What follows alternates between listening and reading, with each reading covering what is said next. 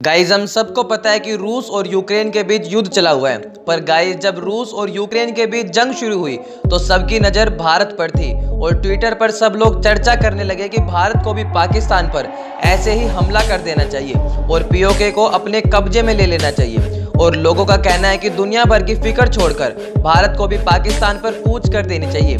और गाइज़ अब पाकिस्तानी सेना ने यह दावा किया है कि भारत ने पाकिस्तान पर मिसाइल दाग दी है और वो मिसाइल पाकिस्तान के पंजाब प्रांत में जाकर गिरी है, जिसे देखकर पूरा पाकिस्तान हक्का बक्का रह गया पर गाइज़ भारत के रक्षा मंत्रालय का कहना है कि यह दुर्घटना एक्सीडेंटली यानी कि गलती से हुई है।